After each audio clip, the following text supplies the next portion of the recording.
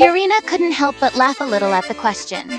That's an interesting question. It honestly depends on the events. If it's swimming, definitely Fontaine. If it's archery, obviously Inazuma. If it's running, Sumeru. If it's singing, Mondstadt, of course. Furina rolled her eyes at your comment. Yeah, I know there isn't, you idiot. I'm just listing the events for each nation's strong point. Obviously, there isn't going to be a singing event in the Olympics.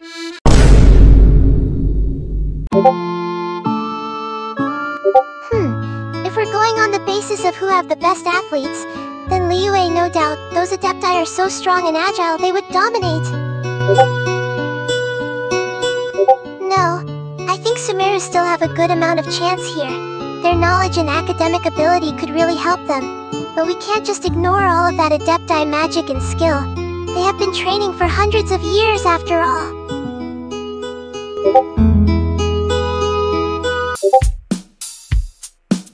If I have to pick, Inazuma would be the most fit for the Olympics. The people of Inazuma are quite fit and they train a lot.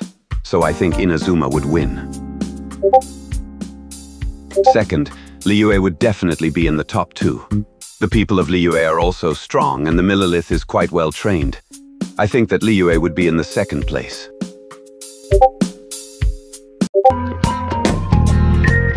Shogun, that is a completely senseless question. The people of each land have their own respective talents. And how would such a competition even take place? It is not the sort of mindless entertainment to be engaged in when eternity is at stake. Shogun, very well. As a hypothetical question, Liyue. That land is not only blessed with an abundance of mora, but its people are also blessed with talent.